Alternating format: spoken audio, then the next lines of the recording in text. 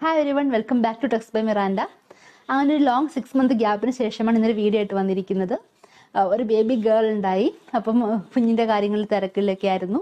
അതുകൊണ്ടാണ് ഇത്ര ഡിലേ വന്നത്. അതുപോലെ ഈ കഴിഞ്ഞ ദിവസം ഓഫീസിൽ തിരിച്ച് മെറ്റേണിറ്റി ലീവിന് ശേഷം റീജോയിൻ ചെയ്യേണ്ടി വന്നു. അപ്പോൾ അങ്ങനെയൊക്കെ കുറച്ച് തിരക്കുകളും കാര്യങ്ങളൊക്കെ ആയിട്ട് പോയി. അപ്പോൾ ഇനി തൊട്ട് പറ്റുന്ന പോലെ ഞാൻ വീഡിയോസ് ഒക്കെ അപ്ലോഡ് ചെയ്യാൻ ശ്രമിക്കുന്നതായിരിക്കും. അതുപോലെ തന്നെ ഒരു കാര്യം നമ്മുടെ ഐ എസ് ടിക്ക് സീരീസ് ആണ് ചെയ്തുകൊണ്ടിരുന്നത്. അത് കംപ്ലീറ്റ് ആക്കിയായിരുന്നു. അത് കണ്ടിട്ട് കുറച്ച് പേര് എനിക്ക് മെസ്സേജസ് മെയിൽസ് ഒക്കെ അയച്ചായിരുന്നു. അവരത് കണ്ട് പ്രിപ്പയർ ചെയ്തിട്ട് അവർക്ക് എക്സാം ക്ലിയർ ചെയ്യാൻ പറ്റിയെന്ന് പറഞ്ഞ് ഒരുപാട് സന്തോഷം. ഇനി അത് കണ്ടിട്ടില്ലാത്തവരൊന്ന് പോയി കാണുക. എക്സാം പ്രിപ്പയർ ചെയ്യുക. പിന്നെ ഞാൻ പറഞ്ഞല്ലോ ഇപ്പം ഞാൻ എന്തുമാത്രം പറഞ്ഞത് കരുതിയിട്ടോ? അല്ലെങ്കിൽ മറ്റ് ട്യൂട്ടോറിയൽസ് ആണെങ്കിലും മറ്റ് വീഡിയോസ് ചെയ്യുന്നവരാണെങ്കിലും അതൊക്കെ കണ്ടിട്ട് മാത്രം നമുക്ക് ഒരിക്കലും എക്സാമിന് അറ്റൻഡ് ചെയ്യാൻ പറ്റത്തില്ല. നമ്മൾ സ്വയം കുറേ മാക്സിമം നമ്മൾ പ്രാക്ടീസ് ചെയ്ത് നോക്കുക എങ്കിൽ മാത്രമേ നമുക്ക് അത് ക്ലിയർ ചെയ്യാൻ ഫസ്റ്റ് റൗണ്ടിൽ തന്നെ ക്ലിയർ ചെയ്യാണ്ട് പറ്റത്തുള്ളൂ. ഇല്ലെങ്കിൽ നമുക്ക് പലവട്ടം അറ്റംപ്റ്റ് ചെയ്യേണ്ടി വരും അറിയാലോ. അത്യാവശ്യം നല്ല കോസ്റ്റ്ലി ആണ്. സിക്സ് തൗസൻഡ് പ്ലസ് ആണ് അതിന്റെ കോസ്റ്റ് വരുന്നത് അല്ലേ? അപ്പം വെറുതെ ക്യാഷ് പോയിക്കൊണ്ടിരിക്കും. സോ നന്നായിട്ട് പ്രിപ്പയർ ചെയ്തിട്ട് അറ്റൻഡ് ചെയ്യാൻ ശ്രമിക്കുക. അപ്പോൾ നമ്മൾ ഇന്ന് തൊട്ടെടുക്കാൻ വേണ്ടി ഞാൻ പ്ലാൻ ചെയ്യുന്നത് മൊബൈൽ ആപ്ലിക്കേഷൻ ടെസ്റ്റിംഗ് ആണ്. അപ്പം നമുക്കറിയാവുന്ന ഒരു കാര്യമാണ്. ഇപ്പം വെബ് ടെസ്റ്റിംഗ് പോലെ തന്നെ വളരെ ബൂം ചെയ്ത് വരുന്ന ഒരു ടൈപ്സ് ഓഫ് ടെസ്റ്റിംഗ് അല്ലെങ്കിൽ ഒരു ടെക്നോളജിയാണ് മൊബൈൽ ആപ്പ് ടെസ്റ്റിംഗ് ഇന്ന് നമുക്കറിയാം അല്ലേ? നമ്മൾ കുഞ്ഞു കുട്ടികൾ തൊട്ട് ഒരുപാട് പ്രായമുള്ള സീനിയർ സിറ്റിസൺ വരെ എപ്പോഴും കാര്യം യൂസ് ചെയ്യുന്ന ഒരു സാധനമാണ് മൊബൈൽ ഫോൺസ് നമ്മുടെ ഡെയിലി റുട്ടീൻസ് നമ്മുടെ കാര്യങ്ങളെല്ലാം നമ്മളിപ്പോൾ ചെയ്യുന്നത് മൊബൈൽ വഴിയിട്ടാണ്. ഫുഡ് ഓർഡർ ചെയ്യുന്നു ഗ്രോസറി ഓർഡർ ചെയ്യുന്നു ഡ്രസ്സ് ഓർഡർ ചെയ്യുന്നു മൊബൈൽ ബില്ലടയ്ക്കുന്നു സോറി ഗ്യാസ് ബില്ല് അടയ്ക്കുന്നു എന്താ ഇലക്ട്രിസിറ്റി ബില്ല് അടയ്ക്കുന്നു ഇങ്ങനെ നമ്മുടെ ലൈഫിലെ ലൈഫിന് ബന്ധപ്പെട്ട ഒരുവിധ എല്ലാ കാര്യങ്ങളും നമ്മൾ മൊബൈൽ ആപ്സ് വഴിയാണ് ചെയ്യുന്നത്. സോ ഇങ്ങനെ ഈ മൊബൈൽ ആപ്സിന്റെ യൂസേജ് കൂടുന്നതനുസരിച്ച് എന്ത് ചെയ്യും? ഓരോ കമ്പനിക്കാർ അല്ലെങ്കിൽ അതിന്റെ ഓരോ ആൾക്കാർ മാർക്കറ്റിൽ അതനുസരിച്ച് ഓരോ ആപ്സ് ഡെവലപ്പ് ചെയ്ത് കൊണ്ടുവരുന്നുണ്ട്. അപ്പം നമ്മളത് യൂസ് ചെയ്യുന്നു. അപ്പോൾ ഈ യൂസേഴ്സിലോട്ട് അല്ലെങ്കിൽ കസ്റ്റമേഴ്സിലോട്ട് ഈ മൊബൈൽ ആപ്പ് എത്തുന്നതിന് മുന്നേ അതായത് പ്ലേ സ്റ്റോർ അല്ലെങ്കിൽ ആപ്പ് സ്റ്റോറിലൊക്കെ അവർ റിലീസ് ചെയ്യുന്നതിന് മുന്നേ ആയിട്ട് എന്ത് ചെയ്യണം? തറവായിട്ട് ടെസ്റ്റ് ചെയ്യണം. അവിടെയാണ് നമ്മളുടെ ടെസ്റ്റേഴ്സിന്റെ ആ ഒരു ടാലന്റ് അല്ലെങ്കിൽ സ്കിൽസ് അല്ലെങ്കിൽ നമ്മുടെ ഒരു റോൾ വരുന്നത്. അപ്പോൾ നമ്മളത് ക്ലിയർ ആയിട്ട് ചെയ്തില്ലെങ്കിൽ എന്ത് പറ്റും? ആ, ആ മാർക്കറ്റിൽ തന്നെ അവർ ആപ്പ് ഡൗൺ ആയി പോകും നമുക്ക് നമ്മൾ പലപ്പോഴും ആപ്പ് ഇൻസ്റ്റാൾ ചെയ്യുമ്പോൾ നമ്മൾ മെയിനായിട്ട് നോക്കുന്നത് എന്താണ്? അതിന്റെ റിവ്യൂസ് ഒക്കെയാണ് അല്ലേ? ചില ആപ്പ് എടുക്കുമ്പോൾ നമുക്ക് കാണാൻ പറ്റും. കൊള്ളത്തിൽ അതിന് കുറേ ഇഷ്യൂസ് ഒക്കെ പറഞ്ഞ ആൾക്കാർ ഇട്ടേക്കുന്നത്. അപ്പോൾ തന്നെ നമ്മൾ ആപ്പ് ഇൻസ്റ്റാൾ ചെയ്യത്തില്ല. അപ്പോൾ അങ്ങനെ സംഭവിക്കാതിരിക്കണം എന്ത് ചെയ്യണം? നമ്മൾ മാക്സിമം നല്ല രീതിയിൽ തന്നെ ടെസ്റ്റിംഗ് നടത്തിയെങ്കിൽ മാത്രമേ അങ്ങനെയുള്ള ഇഷ്യൂസ് ഒക്കെ ബിഫോർ മാർക്കറ്റിങ്ങിലോട്ട് വരുന്ന മുന്നേ നമുക്കത് ക്ലിയർ ചെയ്യാനായിട്ട് പറ്റത്തുള്ളൂ. അപ്പോൾ ടെസ്റ്റിംഗ് നമ്മൾ നന്നായിട്ട് തന്നെ പെർഫോം ചെയ്യേണ്ടി വരുന്നു. അവിടെയാണ് മൊബൈൽ ആപ്പ് ടെസ്റ്റിങ്ങിന്റെ റോൾ വരുന്നത്. ഓക്കെ അപ്പോൾ നമുക്ക് അറിയാൻ പറ്റും. വെബ് ടെസ്റ്റിംഗ് ഉള്ള പോലെ തന്നെ രണ്ട് രീതിയിൽ നമുക്ക് മൊബൈൽ ആപ്പ് ടെസ്റ്റ് ചെയ്യാൻ പറ്റും. ഒന്ന് മാനുവൽ ടെസ്റ്റിംഗ് രണ്ട് ഓട്ടോമേഷൻ ടെസ്റ്റിംഗ് ഇന്നത്തെ ക്ലാസ്സിൽ ഞാൻ പറയാൻ വേണ്ടി പോകുന്നത് എന്താണ് മൊബൈൽ ആപ്പ് ടെസ്റ്റിംഗ് ടൈപ്സ് അതെങ്ങനെയൊക്കെ പെർഫോം ചെയ്യാൻ ടൂൾസും കാര്യങ്ങളൊക്കെ. ജസ്റ്റ് ഒരു ഇൻട്രൊഡക്ഷൻ പോലെയാണ് പറയുന്നത്. ഓക്കെ അപ്പോൾ ഒന്ന് കണ്ടു നോക്കുക. പിന്നെ ഇതിന്റെ മെയിൻ ആയിട്ട് ഞാൻ എപ്പോഴും പറയുന്ന ഒരു കാര്യമാണ് ഈവൻ വെബ് ടെസ്റ്റിംഗ് ആണെങ്കിൽ പോലും ഒരിക്കലും മാനുവൽ ടെസ്റ്റിംഗ് കൊണ്ട് മാത്രം നമുക്ക് ഒരു ജോബ് സെർച്ചിങ്ങിന് ഒരു ബെനിഫിറ്റ് ഉണ്ടാവണമെന്നില്ല. കാരണം മിക്ക കമ്പനീസും ഒരിക്കലും ഒരു മാനുവൽ ടെസ്റ്റിന് വേണ്ടി ടെസ്റ്റിംഗ് വേണ്ടി മാത്രമായിട്ട് ഹയർ ചെയ്യാൻ ചാൻസസ് ഇല്ല. അവർക്ക് അപ്പോൾ ഓട്ടോമേഷൻ സ്കില്ലും കൊണ്ടുള്ള ഒരാളെ എനിക്ക് അവർ പ്രിഫർ ചെയ്യുക. സോ അറിയാലോ ഇപ്പം നമ്മൾ പോ നമ്മൾക്ക് ആ ഒരു കമ്പനി ഹയർ ചെയ്തില്ലെങ്കിൽ നമുക്ക് പകരം ഒരുപാട് എൻ നമ്പർ ഓഫ് ആൾക്കാർ അല്ലെങ്കിൽ കാൻഡിഡേറ്റ്സ് അവിടെ വെയിറ്റ് ചെയ്യുന്നുണ്ട്. നമ്മളെക്കാട്ടും ഒരുപാട് സ്കിൽസ് ഉള്ള ആൾക്കാരുണ്ട്. അപ്പോൾ അവരുമായിട്ട് നമ്മൾ കൊമ്പീറ്റ് ചെയ്യണം എന്ത് ചെയ്യണം? നമ്മുടെ സ്കിൽസ് ഡെവലപ്പ് ചെയ്യണം. സോ മൊബൈൽ ആപ്പ് ടെസ്റ്റിംഗ് വളരെ ഇമ്പോർട്ടന്റ് ആണ്. പ്രത്യേകിച്ച് automation testing mobile automation testing ഞാൻ ചെയ്യുന്നത് ഹേപ്പിയത്തിലാണ് അതൊരു ഫൈവ് ഇയേഴ്സ് ബാക്കാണ് ഞാനത് യൂസ് ചെയ്തത്. ഇപ്പം നിങ്ങൾക്ക് ആർക്കെങ്കിലും A P M P mobile automation testing ആവശ്യമുണ്ടെങ്കിൽ പഠിക്കണമെന്ന് ആഗ്രഹമുണ്ടെങ്കിൽ ജസ്റ്റ് എനിക്കൊന്ന് മെസ്സേജ് ചെയ്യുകയോ കമന്റ് ചെയ്യുകയോ എന്തെങ്കിലും ചെയ്യുക. എങ്കിൽ ഞാൻ ക്ലാസ് അടുത്ത ക്ലാസ്സിൽ തുടങ്ങുന്നതായിരിക്കും എ പി എഫിന്റെ അപ്പോൾ നമുക്ക് ഇന്ന് ഇൻട്രൊഡക്ഷൻ സ്റ്റാർട്ട് ചെയ്യാം. അപ്പം എന്റെ ചാനൽ ആദ്യമായിട്ടാണ് കാണുന്നെങ്കിൽ ഒന്ന് സബ്സ്ക്രൈബ് ചെയ്യുക വീഡിയോസ് ലൈക്ക് ചെയ്യുക ഷെയർ ചെയ്യുക കമന്റ് ചെയ്യുക. അപ്പോൾ നമുക്ക് സ്റ്റാർട്ട് ചെയ്യാം. അപ്പോൾ നമുക്ക് ആദ്യം കാണാം എന്താണ് മൊബൈൽ ആപ്പ് ടെസ്റ്റിംഗ് എന്നുള്ളത്. അപ്പോൾ മൊബൈൽ ആപ്പ് ടെസ്റ്റിങ്ങിന്റെ യൂസ് എന്താണെന്ന് വെച്ചിട്ടുണ്ടെങ്കിൽ നമ്മൾ വെബ് ടെസ്റ്റിംഗ് ചെയ്യുന്ന പോലെ തന്നെ മൊബൈലിലുള്ള ആപ്ലിക്കേഷൻസിന്റെ ക്വാളിറ്റി അഷുർ ചെയ്യാനായിട്ടാണ് നമ്മൾ മൊബൈൽ ആപ്ലിക്കേഷൻ ടെസ്റ്റിംഗ് ചെയ്യുന്നത്. അതിന് അതിനുശേഷം മാത്രമേ അത് ആപ്പ് സ്റ്റോർ അല്ലെങ്കിൽ പ്ലേ സ്റ്റോറിലൊക്കെ റിലീസ് ചെയ്യത്തുള്ളൂ. വെബ് ആപ്ലിക്കേഷൻ ടെസ്റ്റിംഗ് കൂടെ പഠിച്ചായിരുന്നു. നമുക്ക് രണ്ട് രീതിയിൽ ചെയ്യാം. ടെസ്റ്റിംഗ് അങ്ങനെയൊക്കെ manual testing and automation testing same തന്നെ നമുക്ക് മൊബൈൽ ആപ്ലിക്കേഷൻ ടെസ്റ്റിംഗിനും ചെയ്യാം. മാനുവൽ ടെസ്റ്റിംഗും ചെയ്യാം. ഓട്ടോമേഷനും ചെയ്യാം. മാനുവൽ ടെസ്റ്റിംഗ് എങ്ങനെയായിരിക്കും ചെയ്യുക? ഇത് ഹ്യൂമൻ ബീയിങ് മാനുവലായിട്ട് ഓരോരോ ഫങ്ഷണാലിറ്റീസും കാര്യങ്ങളൊക്കെ ടെസ്റ്റ് ചെയ്യുന്നതാണ് മാനുവൽ ടെസ്റ്റിംഗ് ടെസ്റ്റിംഗ് എന്ന് വെച്ചിട്ടുണ്ടെങ്കിലോ ഏതെങ്കിലും ഒരു പ്രോഗ്രാമിംഗ് ലാംഗ്വേജ് യൂസ് ചെയ്തുകൊണ്ട് ഏതെങ്കിലും ചില ഫ്രെയിംവർക്സ് ഒക്കെ ക്രിയേറ്റ് ചെയ്തിട്ട് ടെസ്റ്റ് സ്ക്രിപ്റ്റ്സ് പ്രിപ്പയർ ചെയ്തിട്ട് എക്സിക്യൂട്ട് ചെയ്യുന്നതാണ് ഓട്ടോമേഷൻ ടെസ്റ്റിംഗ് മൊബൈൽ ടെസ്റ്റിംഗ് രണ്ട് രീതിയിൽ നമുക്ക് ചെയ്യാം. അല്ലെങ്കിൽ രണ്ട് ടൈപ്പ് ഉണ്ടെന്ന് പറയാം. ഒന്ന് ഹാർഡ്വെയർ ടെസ്റ്റിംഗ് രണ്ട് സോഫ്റ്റ്വെയർ ടെസ്റ്റിംഗ്. ഹാർഡ്വെയർ ടെസ്റ്റിംഗ് എന്ന് പറഞ്ഞാൽ ഒരു മൊബൈലിന്റെ ഫങ്ഷണാലിറ്റീസ് അല്ലെങ്കിൽ ഒരു മൊബൈലിന്റെ ക്വാളിറ്റി ടെസ്റ്റ് ചെയ്യുന്നതാണ്. സോ മൊബൈലിന്റെ ക്വാളിറ്റി എന്ന് പറയുമ്പോൾ എന്തൊക്കെ വരാം? അതിന്റെ സ്ക്രീന് അതിലുള്ള അതിന്റെ സ്പേസ് ക്യാമറ ബ്ലൂടൂത്ത് ഇങ്ങനെയുള്ള കാര്യങ്ങളൊക്കെ ടെസ്റ്റ് ചെയ്യുന്നതാണ് ഹാർഡ്വെയർ ടെസ്റ്റിങ്ങിനകത്ത് വരിക. രണ്ടാമത്തെ ടൈപ്പാണ് soft testing or application testing എന്ന് പറയുന്നത്. നമ്മൾ ടെസ്റ്റേഴ്സ് കൂടുതലും ചെയ്യുക രണ്ടാമത്തെ ടൈപ്പ് ആയിരിക്കും. അതായത് ഒരു പർട്ടിക്കുലർ ആപ്പ് അതിന്റെ ഫംഗ്ഷനാലിറ്റീസ് ടെസ്റ്റ് ചെയ്യുക. ഫോർ എക്സാമ്പിൾ നമ്മൾ വാട്സപ്പിന് വേണ്ടി വർക്ക് ചെയ്യുന്നതെന്ന് വിചാരിക്കുക. സോ നമ്മൾ എന്ത് ചെയ്യും? വാട്സപ്പിനകത്ത് വരുന്ന ഫംഗ്ഷനാലിറ്റീസ് അതിന്റെ എല്ലാ യൂസർ ടെസ്റ്റ് ചെയ്യുന്നതായിരിക്കും സോഫ്റ്റ്വെയർ ടെസ്റ്റിങ്ങിനകത്ത് വരുന്നത്. Next types of mobile applications നോക്കാം. ത്രീ ടൈപ്സ് ആണ് വരുന്നത്. ഒന്ന് നേറ്റീവ് ആപ്സ് രണ്ട് mobile web apps and third one is hybrid app എന്താണ് ഫസ്റ്റ് നേറ്റീവ് ആപ്പാണ് നേറ്റീവ് ആപ്പ് എന്ന് പറഞ്ഞിട്ടുണ്ടെങ്കിൽ ആ പേര് പോലെ തന്നെ നേറ്റീവ് ആപ്ലിക്കേഷൻ അതായത് ഒരു പർട്ടിക്കുലർ പ്ലാറ്റ്ഫോമിന് വേണ്ടി മാത്രം ഡെവലപ്പ് ചെയ്തേക്കുന്നത്.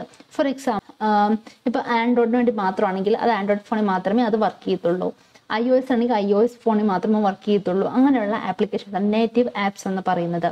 അതിന്റെ എക്സാമ്പിൾ ആണ് വാട്സപ്പ് ഓക്കെ രണ്ടാമത്തെ ടൈപ്പാണ് മൊബൈൽ വെബ് ആപ്പ് അതായത് നമ്മൾ ഒരു ബ്രൗസർ ലൈക്ക് ക്രോം അല്ലെങ്കിൽ ഫയർഫോക്സ് അല്ലെങ്കിൽ ഒരു ബ്രൗസർ യൂസ് ചെയ്തുകൊണ്ട് ഒരു യു ആർ എൽ കൊടുത്ത് നമ്മൾ ആക്സസ് ചെയ്യുന്ന ഏതൊരു ആപ്പിനും പറയുന്ന പേരാണ് മൊബൈൽ വെബ് ആപ്പ്. അതായത് നമ്മളിപ്പോൾ ഏത് വെബ്സൈറ്റ് ഓപ്പൺ ചെയ്യത്തില്ലേ? നമ്മൾ ക്രോമിലെടുത്ത് ക്രോമൊക്കെ എടുത്തിട്ട് അതൊക്കെ മൊബൈൽ വെബ് ആപ്സിന്റെ ലിസ്റ്റിലാണ് വരുന്നത്.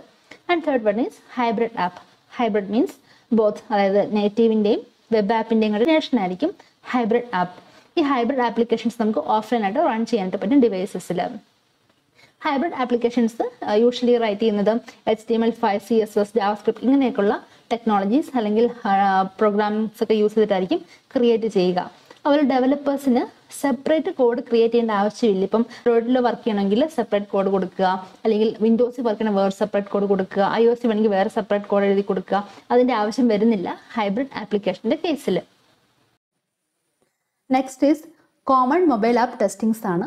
വെബിൽ ചെയ്യുന്ന പോലെ തന്നെയുള്ള എല്ലാ ടൈപ്സ് ഓഫ് ടെസ്റ്റിംഗ് നമുക്ക് മൊബൈൽ ആപ്പിലും ചെയ്യാനായിട്ട് പറ്റും. നമുക്ക് നമുക്കപ്പോൾ ഒന്നുകൂടെ ഒന്ന് അത് കവർ ചെയ്യാം. First one is functional testing functional testing എന്ന് പറഞ്ഞാൽ എന്താ? അതായത് നമുക്ക് കിട്ടിയിരിക്കുന്ന സെറ്റ് ഓഫ് റിക്വയർമെന്റ്സ് അനുസരിച്ചിട്ടാണോ ആ പർട്ടിക്കുലർ ആപ്ലിക്കേഷൻ വർക്ക് ചെയ്യുന്നത്. അതിന്റെ ഫങ്ഷണാലിറ്റീസ് ചെക്ക് ചെയ്യുക. അതാണ് function same as web testing രണ്ടാമത്തെ കോമ്പാറ്റബിലിറ്റി ടെസ്റ്റിംഗ് ദറ്റ് മീൻസ് ഇപ്പം ഐ ഒ എസ് വർക്ക് ചെയ്യ വർക്ക് ചെയ്യുമ്പം ചില പർട്ടിക്കുലർ ഫങ്ഷണാലിറ്റി ചില ചില റിക്വയർമെന്റ്സ് ഒക്കെ ഉണ്ടായിരിക്കുമല്ലോ.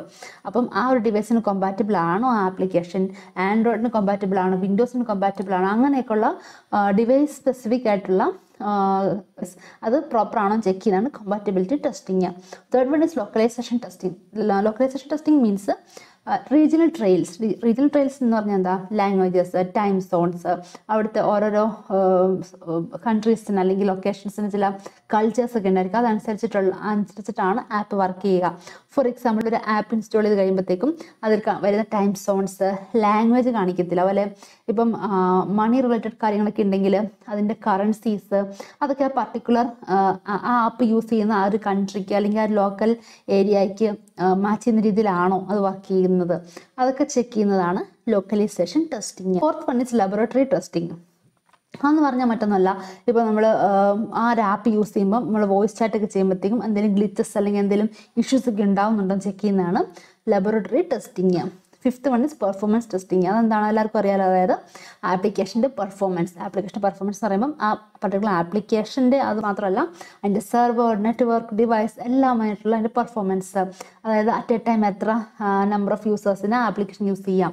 അപ്പം ഒരു പർട്ടിക്കുലർ എമൗണ്ട് കഴിയുമ്പോഴത്തേക്കും അത് ക്രാഷ് ആവുന്നുണ്ടോ എന്തെങ്കിലും നെറ്റ്വർക്ക് പ്രോബ്ലംസ് വരുന്നുണ്ടോ. ഇതൊക്കെ ചെക്ക് ചെയ്യുന്നതാണ് performance testing next types of testings ആണ്. ആദ്യത്തെ സ്ട്രെസ് ടെസ്റ്റിങ് സ്ട്രെസ് ടെസ്റ്റിംഗ് നമ്മളിതിൽ വെബിൽ പഠിച്ചാണ് നമ്മൾ പറയാവേ. സ്ട്രെസ് ടെസ്റ്റിംഗ് എന്ന് പറഞ്ഞിട്ടുണ്ടെങ്കിൽ ഫോർ എക്സാമ്പിൾ പറഞ്ഞാൽ ഇപ്പോൾ ഒരു ഫ്ലൈറ്റ് ബുക്കിംഗ് ആപ്ലിക്കേഷൻ എന്ന് വിചാരിച്ചു. അപ്പം അത് ഡെവലപ്പ് ചെയ്തപ്പം പ്ലാൻ ചെയ്തേക്കുന്നു അറ്റ് എ ടൈം ഒരു ടു ഹൺഡ്രഡ് ആൾക്കാർക്കാണ് സീറ്റ്സ് ബുക്ക് ചെയ്യാൻ കേസ് അല്ലേ? ചിലപ്പം ഒരു മുന്നൂറ് അല്ലെ അതായത് ടു ഹൺഡ്രഡ് എബവ് ആൾക്കാർ അറ്റ് എ ടൈം ബുക്ക് ചെയ്യാൻ വേണ്ടി ശ്രമിച്ചു കഴിഞ്ഞാൽ എന്താണ് സംഭവിക്കുക? എന്തെങ്കിലും ഹാങ്സോ അല്ലെ ക്രാഷസ് ഉണ്ടാവുകയോ അങ്ങനെയൊക്കെയുള്ള ഇഷ്യൂസ് സംഭവിക്കുന്നുണ്ടോ ചെക്ക് ചെയ്യുന്നതാണ് സ്ട്രെസ് ടെസ്റ്റിംഗ് ദാറ്റ് മീൻസ് കൂടുതൽ സ്ട്രെസ് കൊടുത്തിട്ട് ടെസ്റ്റ് ചെയ്യുന്നതാണ് stress testing next security testing ഇതിനെ വെച്ച് കമ്പയർ ചെയ്യുമ്പോഴത്തേക്കും നമ്മൾ കൂടുതൽ ഇമ്പോർട്ടൻസ് കൊടുക്കേണ്ട ഒരു ടെസ്റ്റിംഗ് ആണ് സെക്യൂരിറ്റി ടെസ്റ്റിംഗ് മൊബൈൽ ആപ്ലിക്കേഷൻസിന് കാരണം എന്താ? നമ്മൾ പലപ്പോഴും പല ഡിഫറെന്റ് ടൈപ്സ് ഓഫ് ആപ്ലിക്കേഷൻസ് നമ്മുടെ മൊബൈൽ ഇൻസ്റ്റാൾ ചെയ്യാൻ നോക്കുമ്പോഴത്തേക്കും കാണാറുണ്ട് അല്ലേ? നിങ്ങളുടെ കോൺടാക്ട്സ് ഹാക്സ് ചെയ്യാനായിട്ടുള്ള ഒരു നോട്ട് പെർമിഷൻ ചോദിക്കുന്നുണ്ട്. പിന്നെന്താ? എസ് എം എസ് ആക്സ് ചെയ്യാം ഇമേജസ് പിക് വീഡിയോസ് ഒക്കെ ആക്സ് ചെയ്യാൻ ചോദിക്കുന്നുണ്ട് അല്ലേ?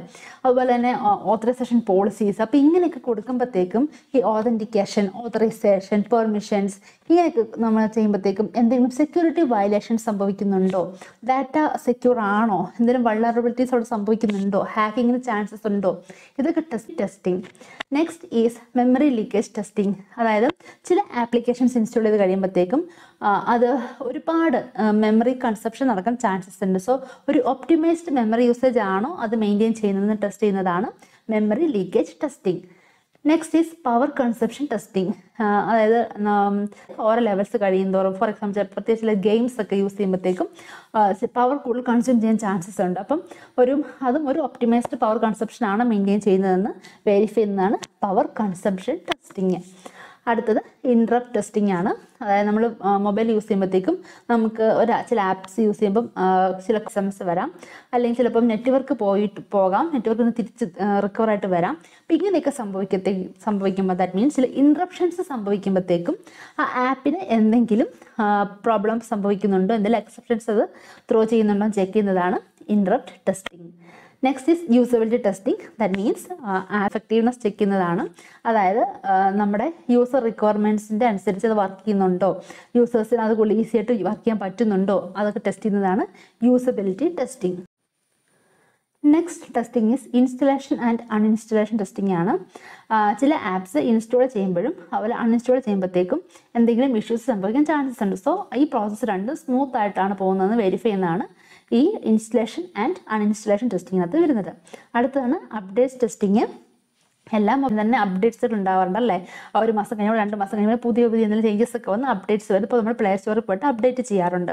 സോ ഇങ്ങനെ ഈ ആപ്പ് അപ്ഡേറ്റ് ചെയ്യുമ്പോഴത്തേക്കും എന്തെങ്കിലും പ്രോബ്ലംസ് ഉണ്ടോ എന്ന് വെരിഫൈ ചെയ്യുന്നതാണ് update testing next is certification testing ആണ്. അതായത് ഓരോ മൊബൈൽ പ്ലാറ്റ്ഫോംസിനും ചില ഗൈഡ് ലൈൻസ് ഉണ്ട് അല്ലെങ്കിൽ ചില റൂൾഷൻസ് ഉണ്ട്. സോ അതൊക്കെ പ്രോപ്പറായിട്ട് ഈ ആപ്പ് ഫോളോ ചെയ്യുന്നുണ്ടോ എന്നാണ് വെരിഫൈ ചെയ്യുന്നതാണ് സർട്ടിഫിക്കേഷൻ ടെസ്റ്റിംഗ് വെബ് ഓട്ടോമേഷൻ ചെയ്യുന്ന പോലെ തന്നെ മൊബൈൽ ഓട്ടോമേഷൻ ചെയ്യാനായിട്ട് പറ്റും. യൂസിങ് എന്തെങ്കിലും പ്രോഗ്രാമിംഗ് ലാംഗ്വേജ് വെച്ചിട്ടോ ചില ടൂൾസ് ഒക്കെ യൂസ് ചെയ്തിട്ട്.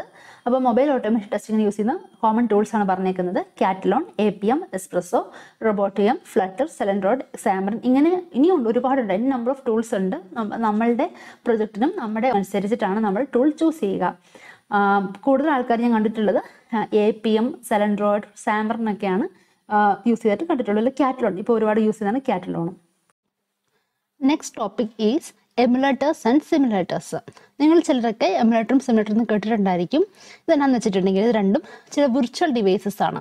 വിർച്വൽ ഡിവൈസ് ഇതിനെ യൂസ് ചെയ്യുന്ന വെച്ചിട്ടുണ്ടെങ്കിൽ ഇപ്പം നമ്മൾ ടെസ്റ്റിംഗ് നടത്തുമ്പോഴത്തേക്കും ഡിഫറെന്റ് ടൈപ്സ് ഓഫ് ഡിവൈസിലായിരിക്കും ആൾക്കാർ യൂസ് ചെയ്യുക അല്ലേ? അപ്പോൾ അതെല്ലാം നമുക്ക് ടെസ്റ്റിംഗിന്റെ സമയം എല്ലാ ഡിവൈസിലും പോയി ടെസ്റ്റ് ചെയ്യാൻ പറ്റണമെന്നില്ല അല്ലേ?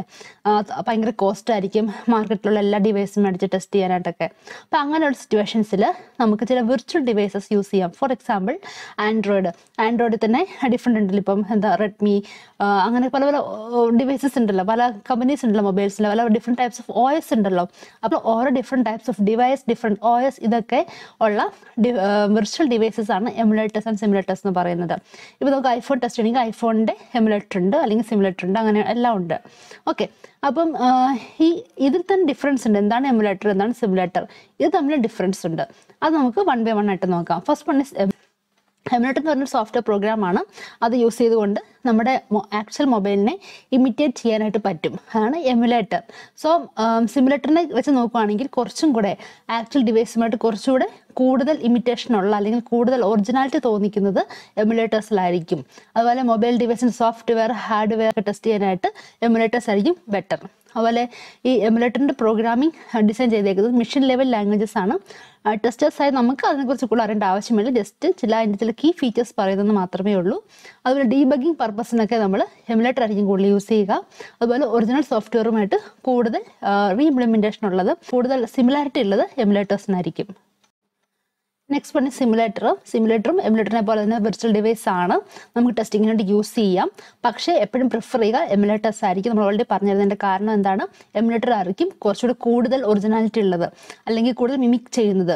സിമുലേറ്റർ അത്രയും വരുന്നില്ല. സിമുലേറ്ററിന്റെ ബാക്ക്ഗ്രൗണ്ട് കോഡ് അല്ലെങ്കിൽ അത് എഴുതിയേക്കുന്ന language high language high level languages ആണ്. അവർ ഡീബഗിങ് പർപ്പസിന് കുറച്ച് ഡിഫിക്കൽട്ട് ആയിരിക്കും സിമുലേറ്റേഴ്സ് അതുപോലെ ഒറിജിനൽ സോഫ്റ്റ്വെയറിന്റെ സോഫ്റ്റ്വെയറിന്റെ ഒരു റീ ഇംപ്ലിമെന്റേഷൻ കുറച്ചേ ഉള്ളൂ. കംപ്ലീറ്റ് ആയിട്ടുണ്ടെന്ന് പറയാൻ പറ്റത്തില്ല.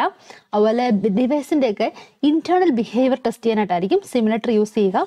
ഹാർഡ്വെയർ ടെസ്റ്റ് ചെയ്യാനായിട്ട് നമുക്ക് സിമുലേറ്റർ യൂസ് ചെയ്യുന്നത് അത്ര സ്യൂട്ടബിൾ അല്ല.